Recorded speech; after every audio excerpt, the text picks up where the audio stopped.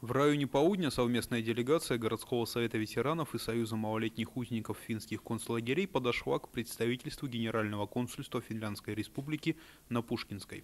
Председатель городского совета ветеранов Вячеслав Кузнецов отказался зачитать обращение, заявив, что их действие не акция протеста и не митинг. Да, не время и не место. Мы не думали, что столько здесь будет журналистов и возникнет такая необходимость. Кузнецов сообщил, впрочем, что в документе ветераны обращают внимание на появившиеся в средствах массовой информации Финляндии сообщения о якобы имевшей место жестокости карельских партизан по отношению к жителям финских приграничных деревень. Но мы хотим узнать официальные позиции в правительстве народа Финляндии. Совпадает с выступлением отдельных Отдельно. экстремистских групп, которые пишут вот в газетах. Вот и весь смысл. На, на деле, а не на словах, испытали все те трудности, все, даже зверства.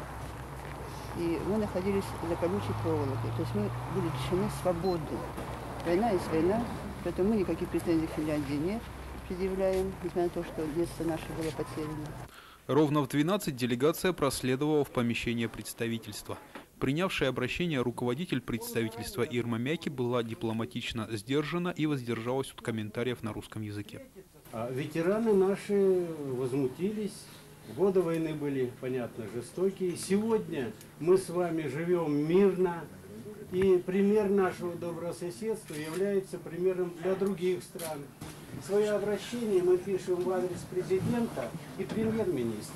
Спасибо вам. Я, вам- я передам. Будьте любезны. Ветераны и малолетние узники финских концлагерей полагают, что консул Финляндии в Санкт-Петербурге, ознакомившись с их обращением во время своего очередного визита в Петрозаводск, даст официальные разъяснения от имени правительства Финляндии.